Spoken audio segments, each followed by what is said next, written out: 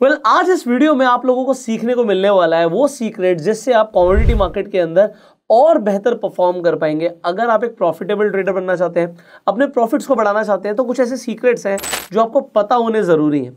और वो आपको रिवील करने वाले one and only mister Amit Jain so Amit ji एक सेबी रजिस्टर्ड प्रोफेशनल है और अपने एक्सपीरियंस के साथ आज आपको ये गाइड करने वाले हैं और सारे secrets step by step reveal करने वाले हैं। सर शुरू करते हैं। बहुत सारे लोग जानने को उत्सुक होंगे। बहुत सारे लोगों को आप ये भी दिमाग में लेके चलिएगा कि वो नए हैं कॉमोडिटी मार्केट के अंदर तो दोनों ही लोगों को जो चाहे प्रोफेशनल्स हैं और चाहे बिगनर्स हैं दोनों को इस वीडियो से वैल्यू मिले। जी ज़रूर। तो इसके पहले वीडियो में हम लोगों ने बेसिक समझा था जहाँ पर बाज़ार कितने बजे खुलता है कौन से प्लेटफॉर्म पर ट्रेड होता है कौन कौन सी स्क्रिप्ट ट्रेड होती हैं क्या इसके ऑप्शंस होते हैं किस तरह की वोलाटिलिटी रहती है एक रुपये पे की मूवमेंट पे कितने रुपए मिलते हैं। ये सारी चीज़ें डिस्कस करी थी। लेकिन आगे बढ़ने से पहले मैं अपनी एक स्टोरी भी सुनाना चाहूँगा। हम्म। जब मैं इस बाज़ार में 2004 में इंटर किया था तो मेरा पहला सौदा इसी एक्सचेंज पर था। हम्म। यानी मैं सोयाबीन में काम करता था वो एग्रीकल्चर कमोडिटी है। रिफाइंड सोया में काम करता था। तो मुझे किसी ने बोला था कि भाई ये ये फलाना रेट पे बाय कर ले। एक दो सौदे अच्छे गए तीन चार सौदे अच्छे गए। लेकिन एक सौदे में फंस गया। जब उस सौदे में फंस गया तो सामने वाले ने मेरा फ़ोन उठाना बंद कर दिया। अब मैं बन गया था एकदम लंगड़ा। ना स्टॉप लॉस पता है ना टारगेट पता है। सामने वाला फ़ोन उठा नहीं रहा है, दस बार फ़ोन करो तो एक आध बार ही फ़ोन उठा रहा है और कह रहा है कि मैं वापस फ़ोन करता हूँ। फ़ोन उठाना बंद कर दिया। उस सौदे में मैंने जितना भी पैसा कमाया था या फिर जो भी कैपिटल इन्फ्यूज़ की थी वो 2004 और पाँच के दौर में, वो सारी ज़ीरो हो गई। उस दिन मैंने कसम खा ली थी कि अब मुझे किसी को फ़ोन करके नहीं पूछना है और वो दिन है और आज का दिन है, मैंने कभी किसी को फ़ोन करके नहीं पूछा। कोशिश करी सीखने की, लेट हुआ। आप लोगों के पास तो बहुत सारे साधन हैं जल्दी जल्दी सीखने के। इतने सारे प्लेटफॉर्म है चार्ट भी देख सकते हैं। मैंने इनफैक्ट चार्ट को सीखने के लिए उस समय हमारे पास ये सब अवेलेबल नहीं होता था फ्री ऑफ़ कॉस्ट तो दस हज़ार रुपये के लगभग मैं हर महीना चार्ट प्लेटफॉर्म को देखने के लिए देता था। तो उस समय वो समय है और आज का समय है मैंने फिर जब मैं मुझे वो डिफ़िकल्टी का एहसास हुआ तो मैंने सोचा कि क्यों ना अपने लोगों को हेल्प की जाए किसी को और को किसी को फ़ोन ना करना पड़े। तो मैं यहाँ पर हर चीज़ हर वो चीज़ देने की कोशिश करता हूँ जिससे आप लोग सेल्फ ट्रेडर और अच्छे इन्वेस्टर अच्छे ट्रेडर बन जाए साइकोलॉजिकल बिल्टअप हो जाए। हम्म। चलिए मैं अपने टॉपिक पे वापस आता हूँ। मैं यहाँ पर दो चार मिनट का टाइम लूँगा आप लोगों को बताने की कोशिश करूँगा कि यहाँ पर हमें कमोडिटी मार्केट में काम करने के एडवांटेजेस क्या हैं और डिसएडवांटेजेस डिसएडवांटेजेस क्या हैं। बेस्ट पार्ट मुझे क्या लगता है ये मार्केट की जो वोलेटिलिटी होती है ये मोटा माटी छः बजे के आसपास ट्रिगर होती है। हम्म। यानी कि यूएस मार्केट खुलते हैं उसके बाद। यूएस मार्केट खुलने से हमारी क्लोजिंग तक क्लोजिंग तक भी नहीं तीन चार घंटे के आसपास अच्छी वोलेटिलिटी रहती है। तो आप देखिए बाज़ार जब सुबह नौ बजे ओपन होते हैं उसके बाद सात बजे तक छः बजे के आसपास तक ये कम वोलाटाइल रहते हैं एकदम रेंज बाउंड रहते हैं। और सात छः बजे के बाद यूएस मार्केट खुलता है और सात बजे के आसपास डेटा रिलीज़ होते हैं। हम्म। जैसा प्रीवियस वीडियो में मैंने बताया था आप लोगों को कि नवंबर से मार्च एंड तक बाज़ार ग्यारह पचपन तक बंद होते हैं तो ये थोड़ा डेटा के शेड्यूल भी चेंज हो जाते हैं हम्म। पहले जो डेटा फ़र्स्ट सिक्स मंथ्स में छः बजे के आसपास आते हैं वो सात साढ़े सात आठ बजे के रेंज में चले जाते हैं हम्म। तो वोलाटिलिटी छः बजे के बाद ही थोड़ी सी ट्रिगर होना चालू होती है इसके इसके बारे में मैं आप लोगों को आगे बाद में समझाऊँगा हम्म। तो मैं ये कह रहा था कि जो एडवांटेज है जो लोग पार्टिसिपेट नहीं कर सकते बाज़ार में छः बजे तक वो यहाँ पर कमोडिटी एक्सचेंज में कमोडिटी मार्केट में छः बजे के बाद आके कामकाज कर सकते हैं और मार्केट का लुफ्त उठा सकते हैं। यानी जो वहाँ पर छूट गए वो यहाँ पर कामकाज कर सकते हैं। अपनी अपनी स्ट्रैटेजी बना वहाँ पर मतलब इक्विटी मार्केट में। कमोडिटी मार्केट में। जो हाँ जो एनएससी में काम नहीं कर पा रहे अपनी जॉब की वजह से स्केड्यूल बिज़ी है मीटिंग चल रही है ट्रेवलिंग में बिज़ी है तो यहाँ पर छः बजे के बाद पार्टिसिपेट करिए साढ़े ग्यारह पौने बारह बजे तक बाज़ार खुला हुआ है। हम्म। और दूसरा एडवांटेज मैं यहाँ पर ये भी बताना चाहूँगा कि यहाँ पर भी सारे ऑप्शन ट्रेड होते हैं। जैसे अपने प्रीवियस वीडियो में बात किए थे क्रूड ऑयल का ऑप्शन ट्रेड होता है नेचुरल गैस का ऑप्शन ट्रेड होता है गोल्ड सिल्वर के भी होते हैं लेकिन गोल्ड में लिक्विडिटी कम होती है हम्म। तो दूसरा एडवांटेज मुझे ये लगता है कि जिनकी कम पूंजी है हम्म। जैसे कि दस बीस हज़ार रुपए से भी कामकाज करना है तो क्रूड के द, दस हज़ार रुपए या पंद्रह हज़ार रुपए के मार्जिन में भी ऑप्शन के ट्रेड बढ़िया बन सकते हैं लेकिन यहाँ पर एक बात मैं ज़रूर कहना चाहूँगा कि अगर आप लोग ऑप्शन में ट्रेड बना रहे हैं कमोडिटीज में तो प्योरली इंट्राडे रखने की कोशिश करिए और सेलर हैं तो अब तो फिर होल्ड कर सकते हैं क्योंकि आप टाइम डिके को भी इंजॉय कर सकते हैं तो ऑप्शंस के भी ट्रेड होते हैं और दस पंद्रह हज़ार रुपये के मार्जिन में भी आप लोग यहाँ पर कामकाज कर सकते हैं। तो सर, तीसरा बेनिफिट कमोडिटी मार्केट का ये है कि यहाँ से ग्लोबल मार्केट को भी एनालाइज किया जा सकता है। इनफैक्ट मेरा ये समझना है कि सारे मार्केट इंटरकनेक्टेड है। मैं आप लोगों को वो भी चार्ट के साथ दिखाने की कोशिश करूँगा कि हमने पास्ट में कैसे कैसे इवेंट्स देखे हैं कैसी कैसी वोलेटिलिटी ट्रिगर हुई उनकी वजह से। तो मैं आप लोगों को पिछले साल के जब हमारा यूक्रेन और रशिया का वॉर सिचुएशन क्रिएट हुआ था तब हमारे यहाँ पर बाज़ार में क्रूड ऑयल की कैसी वोलेटिलिटी ट्रिगर हुई थी। तो मैं आप लोगों को क्रूड ऑयल का चार्ट दिखाता हूँ। ये वीकली चार्ट है और एक एक कैंडल वीक की है। आप यहाँ पर देखिए बाज़ार का भाव करीब करीब छः हज़ार एक सौ के आसपास चलता था। जी। और करीब छः छः हफ्तों के अंदर ये बाज़ार ने दस हज़ार पॉइंट टच कर दिया था। ऑलमोस्ट नौ हज़ार नौ सौ निन्यानवे का हाई पोस्ट किया था। दस हज़ार के लगभग लगभग उसके आगे के फॉरवर्ड कॉन्ट्रैक्ट दस हज़ार के पार भी चले गए थे। लेकिन सबसे बेस्ट पार्ट क्या है? बेस्ट पार्ट बोलो जिन्होंने पैसा कमाया उनके लिए बेस्ट पार्ट बेस्ट पार्ट और जिन्होंने पैसा गंवाया इस मार्केट में उनके लिए वर्स्ट पार्ट लेकिन ऐसी वॉलेटिलिटी में आप लोगों को ये समझ में आ जाता है कि बाज़ार में कुछ हो रहा है कुछ हलचल हो रही है तो मार्केट में कैसे ग्लोबल मार्केट में इफ़ेक्ट हो रहे हैं? इनफैक्ट इस अगर मान लीजिए क्रूड ऑयल वगैरह में वोलेटिलिटी ट्रिगर हो गई क्रूड ऑयल में वोलेटिलिटी ट्रिगर होने से आप लोगों को ये समझ जाता है कि बस हमारे इक्विटी मार्केट में भी हलचल होने वाली है डाउजोन्स में भी हल्का हलचल होने वाली है। अगर डाउजोन्स में कोई इंटर मार्केट सारे इंटर कनेक्टेड है वहाँ पर कोई हलचल हो रही तो हमें यह समझ जाता है कि दूसरे मार्केट्स में भी कुछ ना कुछ तांडव हो सकता है। जैसे मान लो डाउजोन्स 2000 पॉइंट भाग गया तो हमारा निफ्टी भी भागेगा। क्रूड ऑयल अगर बहुत ज़्यादा टूट गया अभी क्रूड ऑयल ट्रांसपोर्ट में भी काम आता है पेट्रोलियम प्रोडक्ट है तो अगर क्रूड ऑयल बहुत महँगा हो रहा है तो इन्फ्लेशन बढ़ जाएगा। इन्फ्लेशन बढ़ जाएगा तो स्टॉक मार्केट की वैल्यूएशन कम होगी क्योंकि प्रॉफिटेबिलिटी कम हो जाएगी कंपनीज़ की। तो यहाँ से सारे मार्केट इंटरकनेक्टेड हैं तो हमें तो आप ये कहना चाहते हो कि जैसे क्रूड जो है वो इन्वर्सली प्रोपोर्शनल है निफ्टी के। Yes yes. कि अगर क्रूड का प्राइस बढ़ेगा यस तो निफ्टी का प्राइस गिरेगा। Most of the time most of the time Yes. तो इन्वर्सली प्रोपोर्शनल है कि Yes. ऐसा हो, होने के चांसेस है। Yes yes. और अगर यूएस मार्केट में अच्छा रहता है डाउ जोन्स बढ़ता है जी। बढ़ता है एसएनपी 500 बढ़ता है तो हमारा निफ्टी भी बढ़ता तो है हमने देखा इंडियन मार्केट में भी पॉजिटिव सेंटिमेंट्स बने और, रहेंगे। और इनफैक्ट आप गोल्ड के साथ और सिल्वर के साथ भी कोरिलेशन बताइए लोगों को सो दैट जब हम कमोडिटीज की बात कर रहे हैं तो लोग उसे भी ट्रैक कर पाएँगे। जी हाँ और और यूएसडी का भी। यूएसडी है ना। यूएसडी को मैं आगे कवर करने की कोशिश करूँगा। अभी मान लीजिए कि कोई कोई डेटा पॉजिटिव आते हैं जैसे यूएस के डेटा रिलीज़ होते रहते हैं या फिर वॉर की सिचुएशन ही बन गई। तो चलो वॉर से कनेक्ट करते हैं इस बात को। वॉर की सिचुएशन बन गई तो गोल्ड को यूजुअली क्या माना जाता है? Hedge safe haven yes hedge भी माना जाता है सेफ़ हेवन भी माना जाता है। तो गोल्ड के प्राइसेस यहाँ पर बढ़ने चालू हो जाएँगे। तो हमारी जो भाई जो बहन जो घर पे गोल्ड रखती हैं उनके लिए वो बुरी खबर तो होती है नो डाउट इकोनॉमिकली लेकिन उनके वैल्यूएशन बढ़ने लगते हैं फ़िज़िकल एसेट्स के वैल्यूएशन बढ़ जाते हैं। तो गोल्ड गोल्ड गोल्ड में भी हमें पता चल जाता है कि भाई ये अभी अभी रिसेंटली हुआ था गोल्ड का भी चार्ट दिखाता हूँ। पहले ये क्रूड का चार्ट हमने शायद फिनिश कर लिया है। इसकी वोलेटिलिटी बढ़ गई थी वॉर की सिचुएशन और दस हज़ार से वो वापस सात हज़ार के लेवल्स को टच कर गया। दस हज़ार के वापस आते हैं। और इनफेक्ट मुझे याद है वो टाइम पर दिन में सात सात सौ आठ आठ सौ ग्यारह ग्यारह सौ रुपए चल रहा था जो यूजुअली महीने दो महीने तीन महीने की मूवमेंट होती है।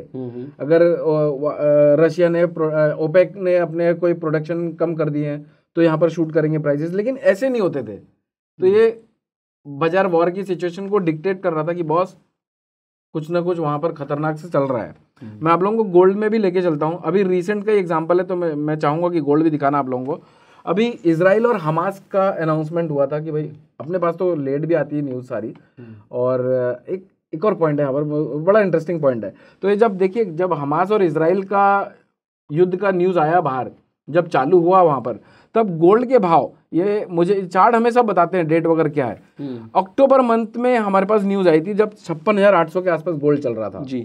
अब वहाँ से जब न्यूज़ आई तो यहाँ पर सेफ़ हेवन जैसा आपने कहा कि गोल्ड वगैरह में भी रिलेशन क्या होता है बताओ। तो एक गोल्ड देखिए तिरसठ हज़ार पे खड़ा हुआ है। प्लस यूएस के अगर डेटा कुछ नेगेटिव्स आते हैं नेगेटिव डेटा आते हैं तो यहाँ पर भी उसके पॉजिटिव इम्पैक्ट देखने को मिलते हैं। राइट क्योंकि ये एक ही एक एसेट एसेट क्लास है जिसके बढ़ने पर इकोनॉमी थोड़ी कॉम्पनसेट हो जाती है लॉसेस से। क्योंकि बैलेंस शीट में अगर आपकी एसेट की वैल्यू बढ़ गई तो कहीं ना कहीं वो कॉम्पनसेटेड दिखता है ना। और हर कंट्री चाहती है कि कहीं ना कहीं से कोई सेफ़ हेवन के थ्रू हम अपने प्रॉब्लम्स को जस्टिफाई कर सकें या फिर अपने ग्रोथ को उतनी निगेटिव ना दिखे जितनी दिख दिख दिख सकती है।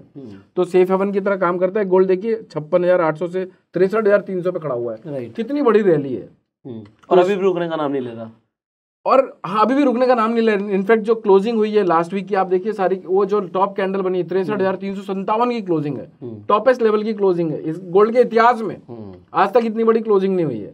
तो उस समय अगर हमारे भाई बहन जो भी हैं अगर कमोडिटी मार्केट में पार्टिसिपेट किए होंगे या फिर फ़िज़िकल में भी लिए होंगे तो आज तो वो एकदम मौज मार रहे होंगे। और वो आज आप देख रहे हो ये वीडियो जब जाएगी तब का गोल्ड का प्राइस कुछ और होगा। कुछ और भी ऐसी सिचुएशन बनती रहेंगी फ्यूचर में। ऐसा नहीं कि यहाँ पर अभी हमने पिछले दो सालों में इतनी सारी न्यूज़ देखे हुए हैं कि मार्केट ने डिप भी बहुत बार दिए गोल्ड ने भी बहुत बार डिप दिया और बहुत बार उछाल भी दिया है। लेकिन अल्टीमेटली आपका तो फेवरेट है आई गेस गोल्ड आप इन्वेस्टमेंट करना पसंद करते हैं वन ऑफ़ द फेवरेट है।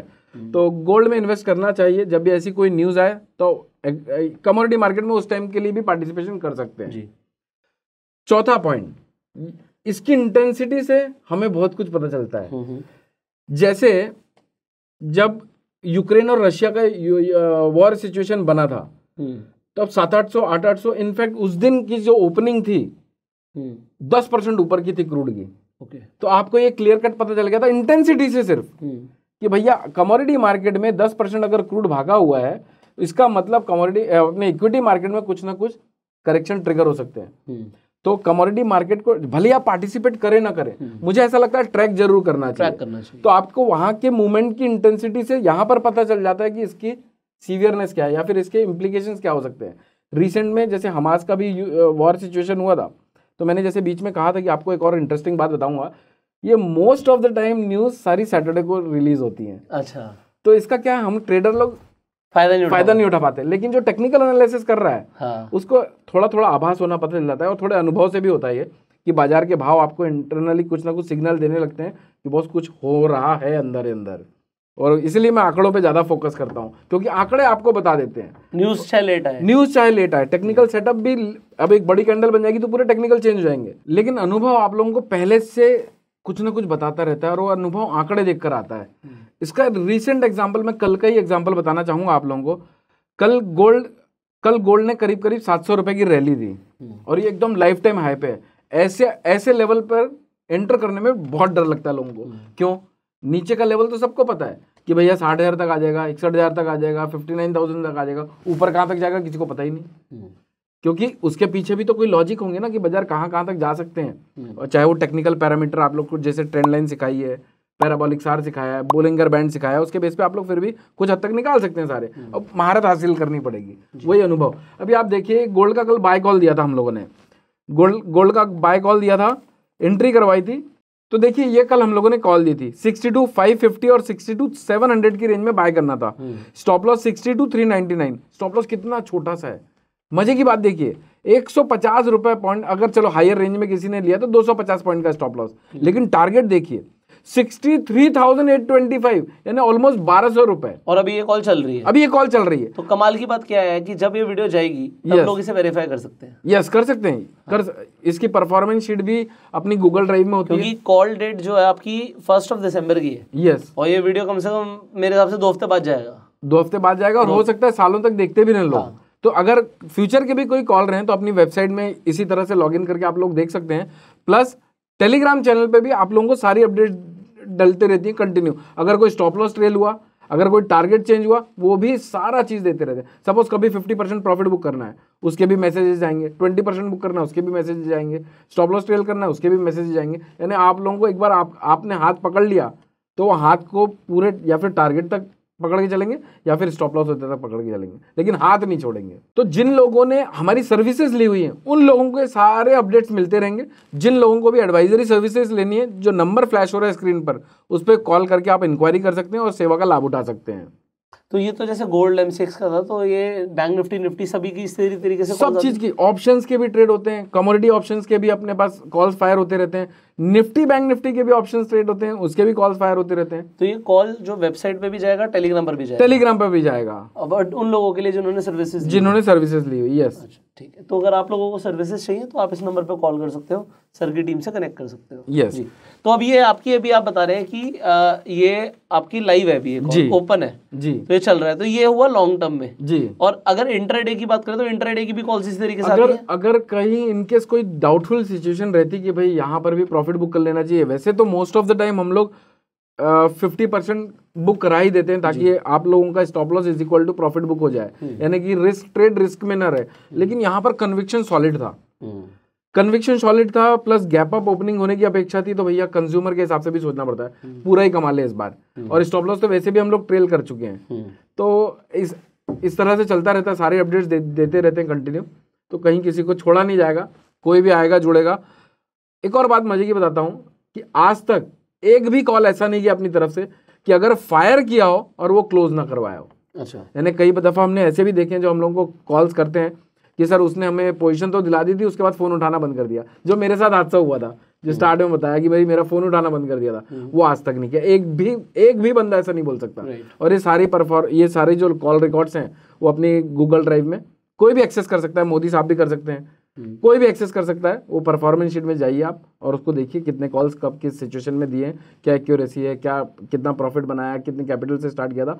एक आप वहाँ से पूरा वेरीफाई कर सकते हैं। तो सर कमोडिटी मार्केट में पांचवा बेनिफिट ये है चाहे आप काम इक्विटी मार्केट में करते हो चाहे आप काम निफ्टी बैंक निफ्टी के ऑप्शन ट्रेडिंग में करते हो लेकिन कमोडिटी मार्केट ट्रैक करना चाहिए उसका पांचवा बेनिफिट ये है एडवांटेज कह लो आप अगर कमोडिटी मार्केट को ट्रैक करते हैं तो आप इक्विटी मार्केट को सेक्टर वाइज भी एनालाइज कर सकते हैं। जैसे क्रूड ऑयल में अगर वोलेटिलिटी क्रूड ऑयल के भाव बढ़ रहे हैं तो कहीं ना कहीं एशियन पेंट पे इफ़ेक्ट आएगा ट्रांसपोर्टेशन इंडस्ट्री में फ़र्क आएगा। अगर गोल्ड गोल्ड के प्राइसेस बढ़ रहे हैं तो कहीं ना कहीं आपके टाइटन में इफ़ेक्ट आएगा। कहीं ना कहीं आपके मुथुत फाइनेंस जैसे वो कंपनीज़ है जो तो उनमें कैसे इफ़ेक्ट देखते हैं?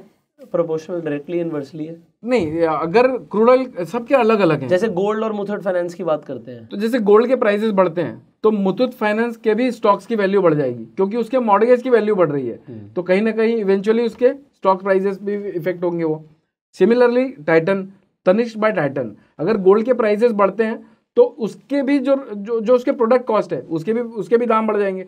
उसके दाम बढ़ते हैं तो डिमांड कम हो जाएगी। डिमांड कम हो जाएगी तो सप्लाई कम हो जाएगी। तो यहाँ पे इनवर्सली के केस में Yes. टाइटन के केस में। सिमिलरली अभी जैसे आप कमोडिटीज में बेस मेटल्स ट्रेड होता है तो जैसे यहाँ पर अगर कॉपर के प्राइसेस बढ़ते हैं बेस मेटल्स में कॉपर और जिंक के तो हमारे स्टॉक मार्केट की इंडस्ट्री में जो भी उस सेक्टर से रिलेटेड है जैसे हेवल्स हो गया बजाज इलेक्ट्रिकल हो गया तो इन इन स्टॉक्स में भी आउट परफॉर्म देखने को कम मिलेंगे हमें उनके प्राइजेस क्योंकि अगर यहाँ पर रॉ मटेरियल की कॉस्ट बढ़ती है तो इनके भी प्रोडक्शन कॉस्ट बढ़ जाएगी। इनकी प्रोडक्ट प्रोडक्शन कॉस्ट बढ़ती है तो उस सेक्टर में उस समय की हलचल कम रहेगी। तो उस समय आप अगर कमोडिटी मार्केट को ट्रैक करते हैं तो मुझे ऐसा लगता है काफ़ी हद तक आप अपने इंडियन स्टॉक मार्केट को भी ट्रैक कर सकते हैं। तो ये तो हुई सारी एडवांटेजेस की बात।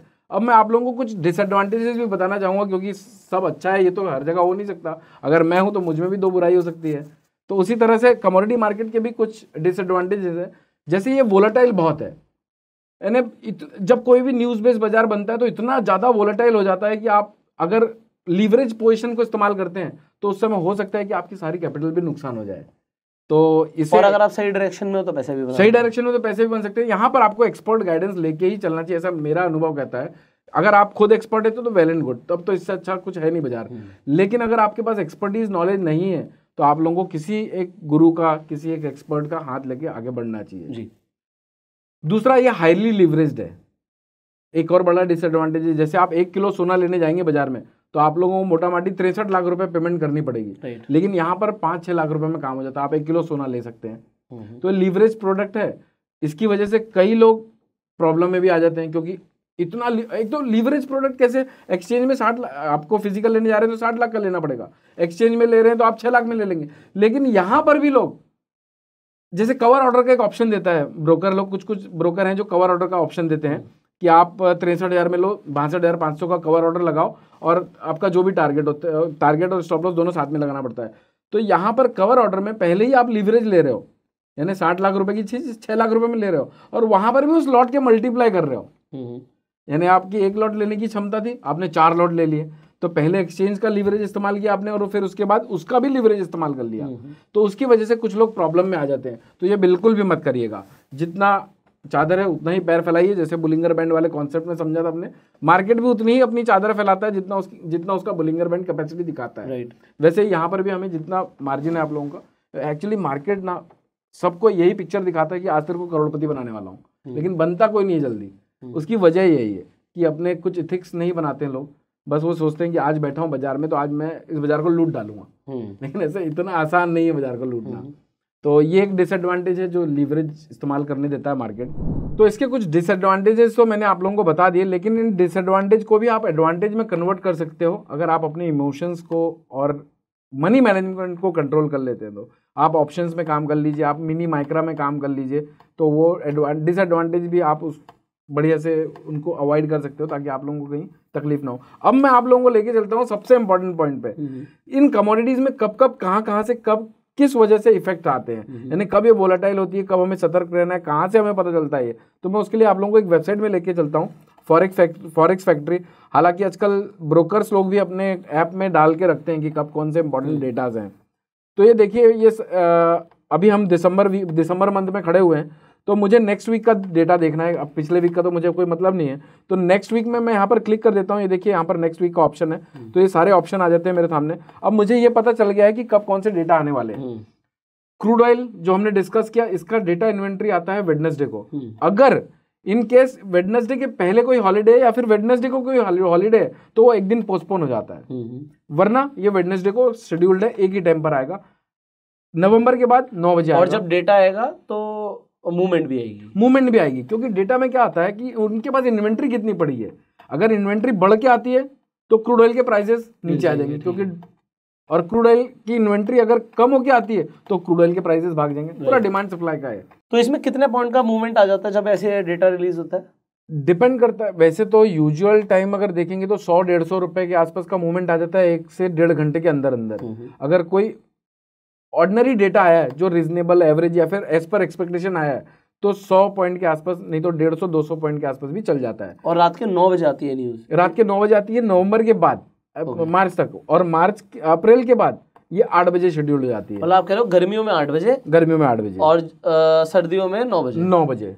तो यहाँ पर ये देखिए अभी मुझे मंडे का पूरा प्लान ऑफ़ एक्शन पता है कि कब कौन से डेटा आने वाले हैं तो इस टाइम पर मैं अपनी लीवरेज पोजीशन कम रखूँगा हम्म। या फिर सतर्क रहूँगा या फिर मेरी कोई पोजीशन है तो उसका स्टॉप लॉस रखूँगा ये आठ साढ़े आठ बजे के आसपास सारे डेटा रिलीज़ होने वाले हैं जॉब ओपनिंग है इकोनॉमिक ऑप्टिमिस्ट है आईएसएम है ये अपने मंडे के डेटा हो गए ट्यूसडे के ट्यूसडे के डेटा भी हैं वेडनेसडे के डेटा भी हैं थर्सडे के भी डेटा हैं फ्राइडे के भी डेटा हैं नेचुरल गैस नेचुरल गैस का डेटा रिलीज़ होता है थर्सडे को एवरी हम्म। थर्सडे जैसा क्रूड में मैंने आपको बताया अगर कोई हॉलीडे आ जाए तो एक दिन पोस्टपोन हो जाता है। तो ये भी उसी तरह से होता है अगर कोई हॉलीडे आ जाए तो एक दिन पोस्टपोन हो जाएगा। और कुछ कुछ डेटाज होते हैं जैसे अनएम्प्लॉयमेंट रेट। अनएम्प्लॉयमेंट रेट का डेटा आएगा सीपीआई का डेटा आएगा तो हम्म। इसकी वजह से बुलियंस में बड़े फ़र्क पड़ते हैं। okay. तो अभी देखिए ये एबीपी नॉन फॉर्म पेरोल का भी डेटा है छह बज के पैंतालीस मिनट वेडनेसडे को। तो मुझे अभी से पता है कि मुझे उस टाइम पर थोड़ा अलर्ट रहना है मार्केट में वोलेटिलिटी और हलचल थोड़ी तगड़ी वाली हो सकती है। तो इस टाइम पर या फिर आप अपनी पोजीशन को तो कम रखिए। एम्प्लॉयमेंट चेंज से किस किस पे फ़र्क पड़ेगा? बुलियंस में मेजरली फ़र्क पड़ेगा। पड़ेगा तो सब में ही क्योंकि इसकी वजह से यूएस हम्म। की करेंसी में भी फ़र्क पड़ेगा। अच्छा। यूएस की करेंसी में फ़र्क पड़ेगा। अच्छा एक और मज़े की बात। हमारे यहाँ पर यूएसडी एनआर तो पाँच बजे तक चलता है। करेंसी में मैं करेंसी को भी कवर करूँगा आगे। करेंसी हम्म। पाँच बजे तक चलता है। लेकिन दूसरे प्लेटफॉर्म पर ये रात में भी मूवमेंट देता है दूसरे प्लेटफॉर्म जैसे? जैसे आपके दुबई दुबई एक्सचेंज में चलता रहता है यूएस हम्म। मार्केट में भी चलता रहता है। तो यूएस डॉलर में इफ़ेक्ट आएँगे तो यहाँ की करेंसी में फ़र्क गिरेगा। यहाँ की यहाँ की करेंसी में फ़र्क होता है तो गोल्ड में भी फ़र्क पड़ेगा। मान लेते हैं कि गोल्ड अगर डॉलर टर्म्स अभी एक एग्ज़ाम्पल के तौर पर ले रहे हैं। एक डॉलर अगर गोल्ड बढ़ता है वहाँ पर इंटरनेशनल मार्केट में तो हमारे यहाँ पर तीस रुपए की मूवमेंट होती है। कभी कभी यू ये ऐसा भी होता है कि कोई एकदम खतरनाक बेकार सा डेटा आ गया। और यूएस यूएसडी आईएनआर ने अप्रिशिएट कर गया। अगर अप्रिशिएट कर गया और आधा टक्के से अप्रिशिएट कर गया तो इवेंचुअली तीन सौ रुपए की मूवमेंट हमारे एमसीएक्स में कम आएगी। हम्म, कम आएगी। कम आएगी क्योंकि वहाँ पर डॉलर डॉलर डॉलर में इफ़ेक्ट की वजह से हमारे यूएसडी आईएनआर रिएक्ट कर रहा है पीछे। यहाँ पर तो डॉलर बढ़ रहा है लेकिन हमारे एमसीएक्स में तीन सौ रुपए कम परफॉर्म कर पाएगा गोल्ड मेरे हिसाब से ये जो बिगनर्स हैं उन्हें समझने के लिए इस वीडियो को कई बार देखना पड़ेगा। Yes. तो ये फ्री में अवेलेबल है यूट्यूब पे आप कई बार देखिए नोट्स बनाइए। सो दैट आप पॉइंट्स को रिलेट कर पाएँगे। हाँ तो आगे भी हम डेटा को देख रहे हैं जैसे अनएम्प्लॉयमेंट क्लेम का डेटा शेड्यूल है सात तारीख को सात दिसंबर को। हम्म। तो इस समय थोड़ा सतर्क रहना है। नेचुरल गैस का अच्छा एक और चीज़ यहाँ पर जो रेड रेड है जैसे ये पॉइंट हो गया ये पॉइंट हो गया ये पॉइंट हो गया ये थोड़े से डेंजर जोन है। ओके तो ये वेबसाइट भी हमें बता देती है कि कौन कौन से डेंजर डेटा है और कौन कौन से मॉडरेट है एवरेज इफ़ेक्ट देने वाले हैं। जो डेंजर है मतलब उसका बड़ा इंपैक्ट आ सकता है। बड़ा इंपैक्ट आ सकता है। वोलेटिलिटी वोलेटाइल हो सकता है बाज़ार। ऊपर नीचे दोनों ऊपर नीचे दोनों तरफ़। वो तो आपको फिर आप जो चार्ट सिखाए हैं उससे तो जैसे अगर मान लीजिए सात बजे डेटा रिलीज़ होता है तो चार्ट्स पे इसका फ़र्क इमीडिएट पड़ता है या उसके कितनी देर बाद पड़ना शुरू होता है? ऑनेस्टली बोलूँ तो चार्ट सब कुछ बताता है भाव सब कुछ बताता हम्म। है और मेरा ये बिलीव भी है नहीं लेकिन ऐसे कुछ डेटा होते हैं जो इमीडिएट रिएक्ट कर जाते हैं। लेकिन मोस्ट ऑफ़ द टाइम मेरा ये समझना है बाज़ार को देख कर अब इतने 19 सालों से बाज़ार देख रहा हूँ भाव को ज़्यादा प्यार करता हूँ मैं। तो मेरा ये समझना है कि कई बार ऐसा होता है जो होता है वो दिखता नहीं है। हम्म, और जो होने वाला होता है वो दिखाया नहीं जाता बाज़ार में। तो आपको वो समझना पड़ेगा। वो धीरे धीरे प्रैक्टिस में मतलब कहने का मतलब है कि डेटा रिलीज़ होते ज़रूरी नहीं कि इमीडिएट इफ़ेक्ट आ जाए। इमीडिएट इफ़ेक्ट तो आएगा लेकिन कई बार वो डिस्काउंट कर चुका होता है। जैसे मान लीजिए अनएम्प्लॉयमेंट क्लेम का डेटा जो आया वो बुलियंस के लिए बहुत पॉजिटिव था। लेकिन बुलियंस पिछले तीन दिनों में ऑलरेडी उसको डिस्काउंट करके ऑलरेडी ऐसे लेवल ऐसे लेवल पे जहाँ से उतना बड़ा स्पाइक नहीं आ सकता। हाँ हाँ। तो जब क्या होगा जो आम आदमी है जिसको डेटा नहीं समझ रहा है जिसको भाव नहीं समझ रहा जिसको टेक्निकल नहीं समझ रहा वो डेटा देख के एकदम रिएक्ट कर जाएगा। शॉर्ट पोजीशन है तो उसको काट देगा कि भैया ये तो बहुत डेटा पॉजिटिव आ गया है। उसको ऊपर की हद ही नहीं मालूम कहाँ तक जा सकता है। हम्म, और कई बार ऐसा होता है कि फ्रेश पोजिशन बिल्डअप कर लेगा। हम्म, हम्म, मान लिया शॉर्ट नहीं है। Fresh position long position buildup कर लेगा। नो डाउट इफ़ेक्ट बाज़ार रिएक्ट करेगा लेकिन उतना सीवियर इंपैक्ट नहीं होंगे जितने होने चाहिए थे। क्योंकि पहले रैली आ चुकी है। पहले डिस्काउंट कर चुका है बाज़ार उसको। हम्म, तो ये सब चीज़ें हमको टेक्निकल एनालिसिस समझाती है नो डाउट प्राइस एक्शन हमें समझाते हैं। तो आप लोगों को टेक्निकल को भी समझना होगा फंडामेंटल को भी समझना पड़ेगा और साइकोलॉजिकली मार्केट को बिल्ड करना पड़ेगा। आपके अंदर एक टैलेंट डेवलप करना पड़ेगा जो आपको बाज़ार का भाव आपको आप बात करनी पड़ेगी भाव के साथ। वो भाव आपको ऑटोमेटिक बताते हैं। आपको प्यार करो प्यार करोगे तो फिर प्यार पाओगे भी। राइट तो बाज़ार से प्यार करो बस यही है।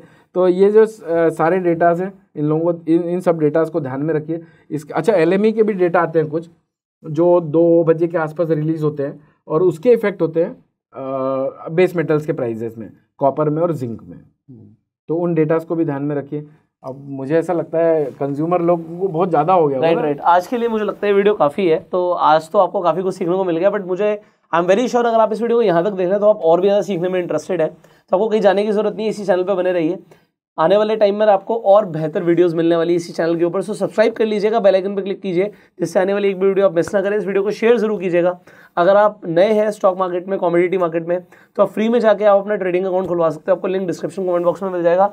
और अगर आपको सर की एडवाइजरी चाहिए तो एक स्क्रीन पर नंबर आ रहा है, इस नंबर पर आप कॉल कर सकते हैं। We will see in the next video till the time you go self made like this video and जय हिंद